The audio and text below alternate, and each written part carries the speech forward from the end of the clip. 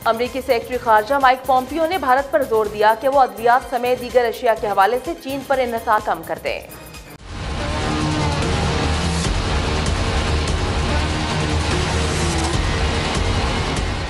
Mike Pompeo ने कहा कि भारत के पास एक मौका है कि वो चीनी दरामदात को तब्दील करे।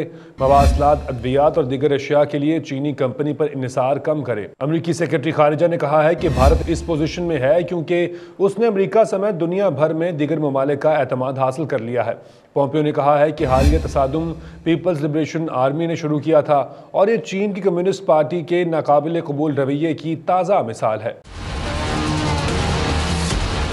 उन्होंने कहा कि अमेरिका कभी भी भारत की सिक्योरिटी पर ज़्यादा मुआविन नहीं रहा, लेकिन सदर ट्रंप की खारिजा पॉलिसी में भारत भी एक अहम शराकतदार और बुनियादी सुतून है। पॉम्पियो के बयान से कबल ही भारत ने हाल ही में चीन की दर्जनों मोबाइल ऐप्स पर पाबंदी आयद कर दी थी, जिसमें टिकटॉक भी शामिल है। तहम हुआवे से मुतल कोई फैसला नहीं किया गया था और फाइव नेटवर्क के ट्रायल के लिए इजाज़त भी दी जा चुकी है।